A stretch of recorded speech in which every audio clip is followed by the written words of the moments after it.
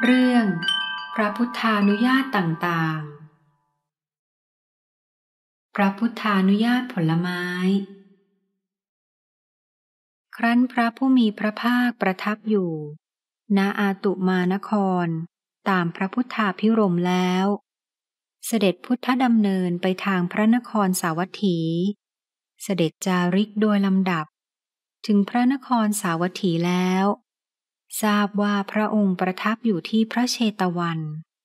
อารามของอนาถบินทิกะขหบดี เขตพระนครสาวัตถีนั้น เวลานั้นของขบฉันคือผลไม้ในนครสาวัตถีมีดาดดื่นมาก ภิกษุทั้งหลายจึงได้มีความสงสัยว่า ของขบฉันคือผลไม้ พระผู้มีพระภาคทรงอนุญาตไว้แล้ว หรือไม่ได้ทรงอนุญาต แล้วได้กราบทูลเรื่องนั้นแด่พระผู้มีพระภาค พระผู้มีพระภาคตรัสว่า ดูกระภิกษุทั้งหลาย เราอนุญาตผลไม้ทุกชนิด พืชของสงฆ์และของบุคคล ก็โดยสมัยนั้นแล พืชของสงฆ์เข้าเพาะปลูกในที่ของบุคคล พืชของบุคคลเขาเพาะปลูกในที่ของสงฆ์ภิกษุทั้งหลายจึงกราบทูลเรื่องนั้นแด่พระผู้มีพระภาค พระผู้มีพระภาคตรัสกับภิกษุทั้งหลายว่า ดูกระภิกษุทั้งหลาย พืชของสงฆ์ที่เพาะปลูกในที่ของบุคคล พึงให้ส่วนแบ่งแล้วบริโภค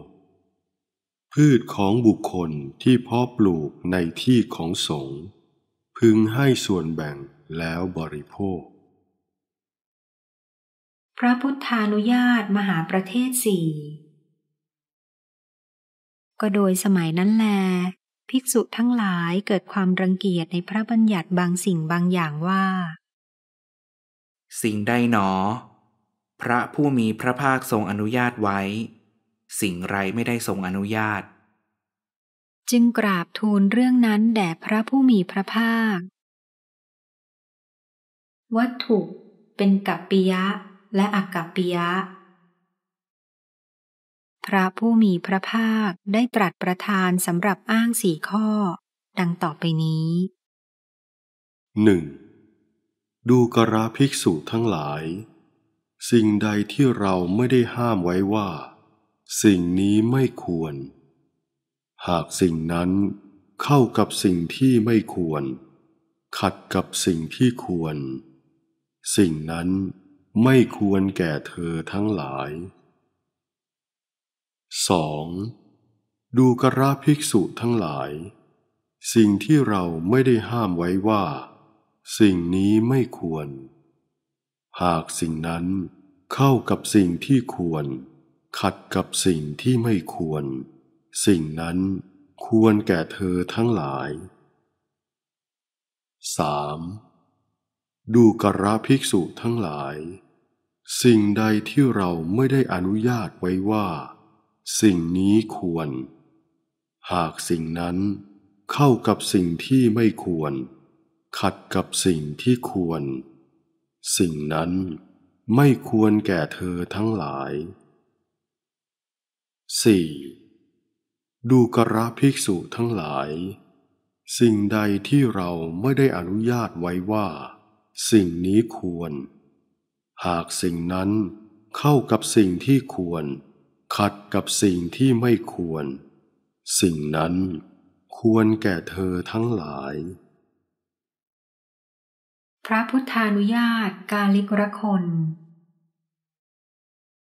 ครั้งนั้นภิกษุทั้งหลายได้มีความปริวิตกว่า ยามากาลิกรักคนกับยาวากาลิก ควรหรือไม่ควรหนอ สัตตาหากาลิกรักคนกับยาวากาลิก ควรหรือไม่ควรหนอ ยาวะชีวิกรักคนกับยาวากาลิก